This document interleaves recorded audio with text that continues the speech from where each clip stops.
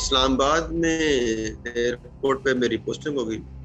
वहाँ मैंने देखा कि जो एफ़ आई के इमिग्रेशन स्टाफ था, वो वो एक गैंग की सूरत में, एक माफिया की सूरत में, उसमें डिफरेंट एजेंसीज के लोग थे एफ़ आई के थे एयरलाइंस के थे और प्राइवेट ह्यूमन स्मगलर जो थे, ये एक रिंग की तरह ये काम कर रहे थे। जो भी आज़म खान साहब चाहते थे तो वो फिर उसको फिलअप करने के लिए उस वक्त के जो आई जी डी जी आई बी थे, उनको कहते थे, और वो आई भी उस तरह की रिपोर्टें बना लेते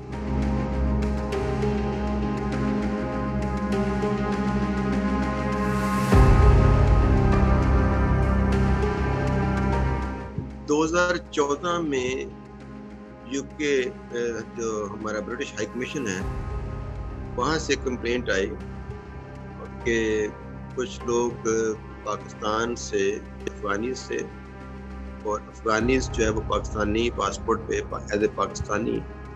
Islamabad airport से वो ट्रैवल किए और आगे ये लंदन से होके आगे ये कोई यूरोपियन ममालिक में जा रहे थे। उन सब की डिटेल आई पासपोर्ट नंबर पिक्चर वगैरह सब कुछ डिटेल आ गई और एफ़ आई ए इस्लामाबाद ने उस पर इंक्वायरी शुरू की केस दर्ज किया। फिर ये हुआ कि ये इतफाक से मैं इस्लामाबाद एयरपोर्ट पे मेरी पोस्टिंग हो गई 2016 में। और स्पेशली वहाँ पे काफ़ी वाक़ तो हुए थे, कोई हुए थे, फिर डी जी एफ़ आई थे उस वक्त, अहमद लतीफ़ साहब। उन्होंने स्पेशली मुझे वहाँ पे ये टास्क दिया कि आपको वहाँ इस्लामाबाद एयरपोर्ट जाए। वहाँ मैंने देखा कि जो एफ़ आई के इमिग्रेशन स्टाफ था, वो वो एक गैंग की सूरत में, एक माफिया की सूरत में उसमें डिफरेंट एजेंसीज के लोग थे एफआई के थे एयरलाइंस के थे, और प्राइवेट ह्यूमन स्मगलर जो थे, ये एक रिंग की तरह ये काम कर रहे थे। और फिर आगे यूके में भी उनके लॉयर हैं, आगे यूरोपियन कंट्रीज़ में उनके लॉयर्स होते हैं जो एयरपोर्ट पे जैसे वो सालम क्लेम करते हैं तो उनको ले लेते हैं। मैंने काफ़ी रिपोर्ट्स बनाई, इसमें हमारा स्टाफ भी इन्वॉल्व था तो मैंने उसकी रिपोर्ट बनाता रहा, और आगे कुछ एफआईआर के लिए मैं वहीं पे इन्वेस्टिगेशन करता रहा अनर्स करता रहा एयरपोर्ट पे। और फिर लेकिन आगे जो हमारा ह्यूमन ट्रैफिकिंग सर्कल था वहाँ पे human smuggling circle H S जो था, उस वहाँ पे प्रॉपर रिस्पॉन्स नहीं मिल था उस तरह के जिस तरह को रिंग को पकड़ना चाहिए, वो पकड़ नहीं देते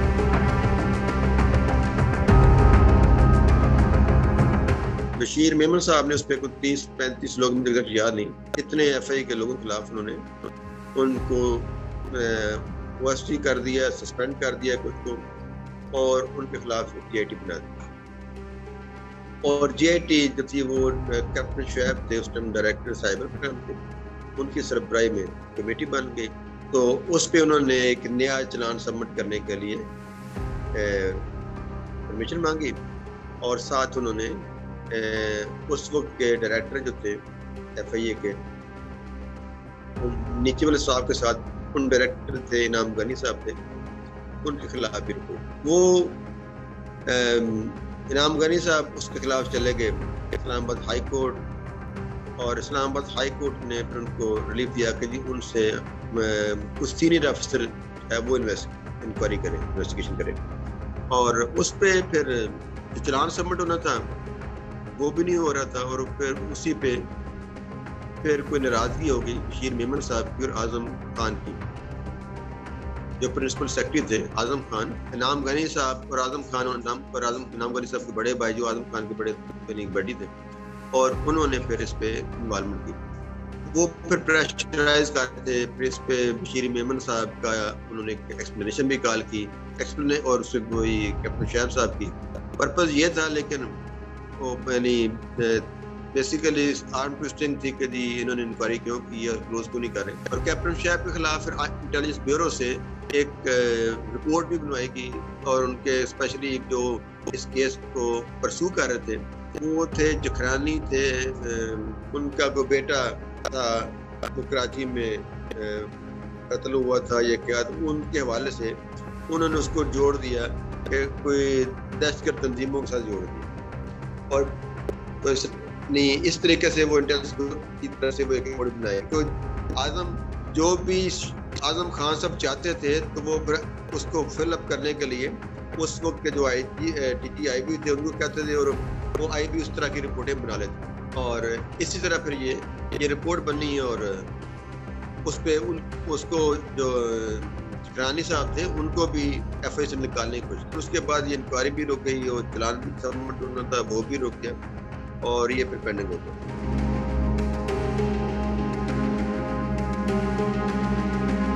देखिए, एक तो गुजरात, सॉरी गुजरा वाला डिवीज़न जो है ना, ये एक तो वहाँ पे रुझान है। यानी अगर एक बंदा टिंकी लगा के गया है, वहाँ कामयाब हो गया है उसने वहाँ पे इमिग्रेशन ले लिया है तो वो अगर दस बीस बंदों में से एक आध बंदा वो फिर एजेंट भी बन जाता है।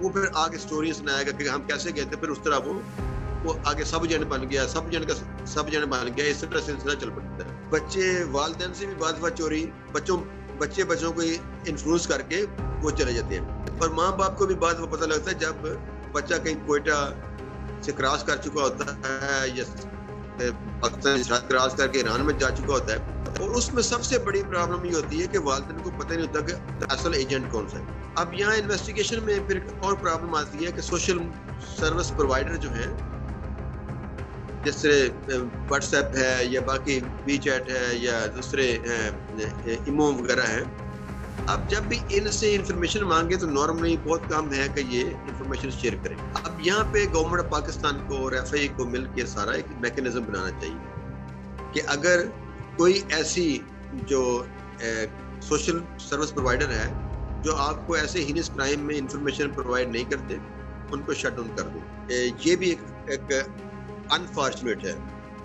रियलिटी है कि जो हमारे एंटी ह्यूमन ट्रैफिकिंग सर्कल्स हैं, जहाँ पे ज़्यादा होती है ह्यूमन स्मगलिंग माइग्रेशन है, वहाँ पे इस, इन सर्कल्स में ज़्यादा हमारे बदनाम लोग बैठे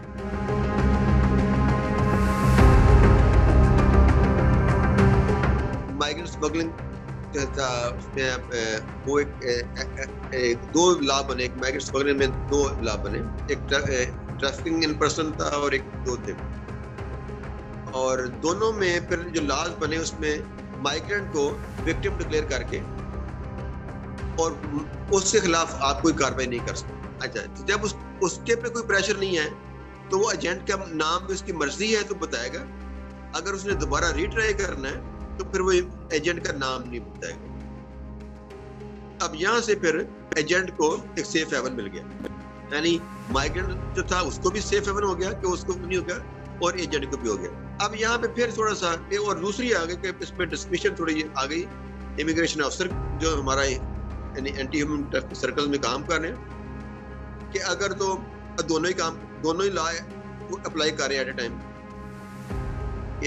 उसमें जेनुअनली भी कर रहे हैं और बेईमानी से भी कर रहे हैं। जेनुअनली इसलिए है कि अगर तो थोड़ा सा किसी को माइग्रेंट को थोड़ा सा एजेंट के अता पता लेने के लिए, पूछने के लिए प्रेशर किया, फिर तुम्हें क्या फेयर कर देंगे। तो ये जेनुअन भी एक सकता है। लेकिन इसी पे अगर किसी ने पैसे नहीं दिए वापसी पे तो उसको इमिग्रेशन ऑर्डिनरी कर दिया।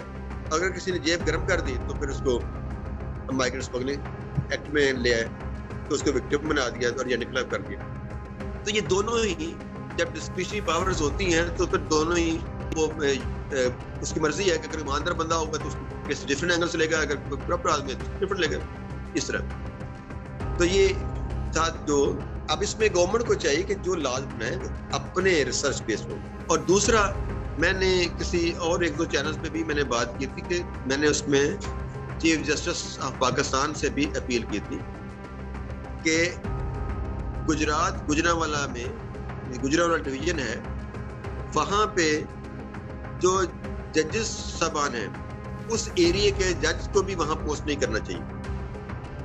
लोकल जो जज हैं, चाहे वो सिविल जज है, चाहे वो एडिशनल सेशन जज है सेशन जज है, और इवन जो हाई कोर्ट के भी उस एरिया से बिलोंग करते हैं जज उनको उस एरिया का, इस ह्यूमन स्मगलिंग का केस उनके पास नहीं जाना चाहिए। Thank you for watching the full video आप में से बहुत से ऐसे लोग हैं जिन्होंने शायद हमारा यूट्यूब चैनल सब्सक्राइब नहीं किया। So if you want to support independent journalism and watch more meaningful content please subscribe to our YouTube channel